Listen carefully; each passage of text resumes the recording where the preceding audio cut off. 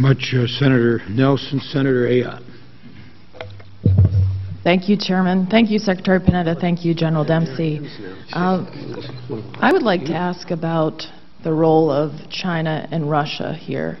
Um, let me just say up front, I'm sure, you, I'm sure you'll agree, that it's outrageous that China and Russia blocked the UN resolutions, and uh, both of them, and also most recently in February. As I understand it, according to the Center for Strategic and International Studies, a report that was issued in June of 2010, uh, that the arms imports from Russia to Syria between 1997 and 2008, that really Russia has been a leading arms supplier to the Assad regime. Um, is that the case? That's true. And uh, do they continue to provide arms to the Assad regime now? Yes, Senator, they do. So Russia is continuing to provide arms to the Assad regime as they murder their own people.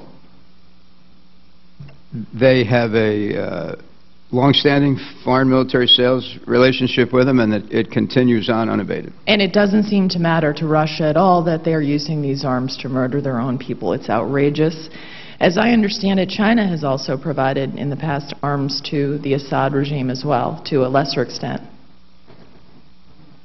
I'm, I'm, I, let, let me get back to you because we, I, you know, there are other areas of assistance, but uh, I'm not sure about arms. Okay. Well, I would appreciate a follow-up to that, uh, but they certainly, to some extent, have provided assistance to the Assad regime in the past.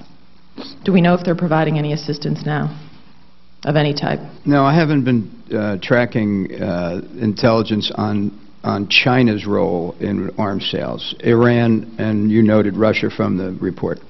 But I, I think I think economically they have had ties into uh, Syria that are you know they, they still are trying to maintain.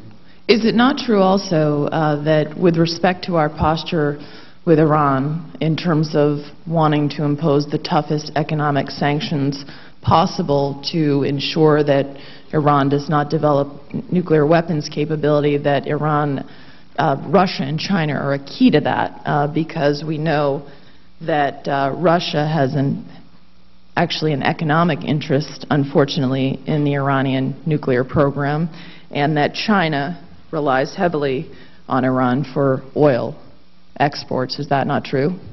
Correct.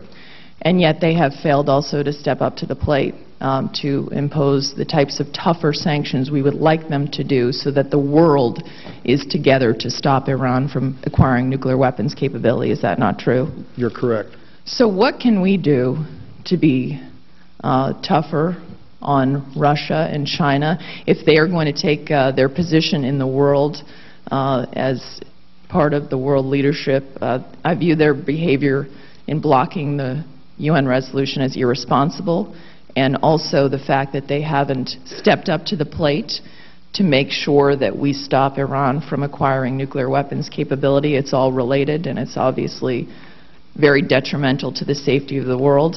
Uh, what should we be doing there to be tougher on them? Because I, I think, we need uh, to. I mean, I, obviously, uh, you, you, should hear this directly from uh, Secretary Clinton, but uh, you know, my uh, my knowledge is that Secretary Clinton is exhausting every effort to try to engage uh, both Russia and China in this effort, particularly Russia, because as I said, Russia, because of its long-standing relationship there, because it has, it owns a harbor uh, in Syria, uh, and uh, has the record that you just described with Syria, that uh, Russia uh, could, if they wanted to accept the responsibility that they should, they could they could be helpful here in the effort to try to remove Assad.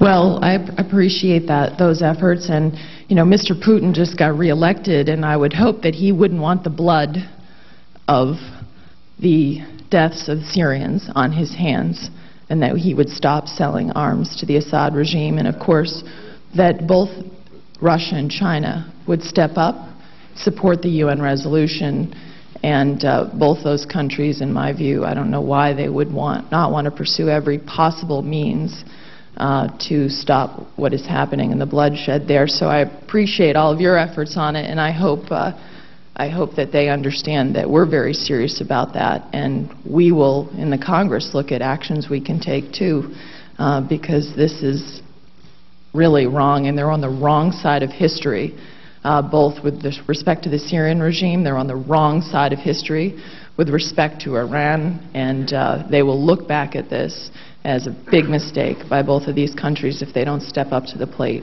right now. Um, I also wanted to ask about uh, the Assad regime's relationship uh, just with some of the groups that we've labeled terrorist groups. Uh, What's the Assad regime's relationship with Hezbollah? The, again, I I think that's probably better addressed in a closed session in terms of the specific relationship, but uh, there has been a longstanding relationship uh, between Hezbollah and Syria. It's it's actually diminished of late. Uh, uh, Hezbollah has kind of uh, stood aside while uh, what's hap- and and hasn't directly been involved in some of the situa- what some of the violence that's taken place in Syria. Okay, thank you. And also with Hamas? Hamas, the same same thing. And in fact, uh, as I understand it, at least based on public reports, uh, Hamas is actually stepping back from the situation, yet Iran has not stepped back. Correct. They're continuing to push forward. That's right. Uh, Let me ask you, does the violence that's happening in Syria have any impact on stability in Iraq?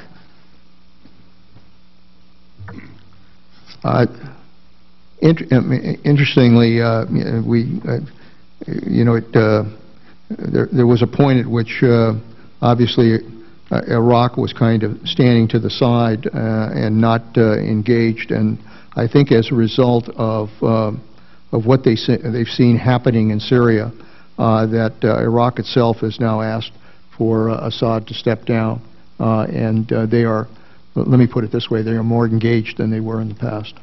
Do you view this as a positive step? Yes. Okay. Uh, Thank you both. My time is up. I appreciate your being before the committee today on such an important issue. Thank you, thank you Senator Ayotte.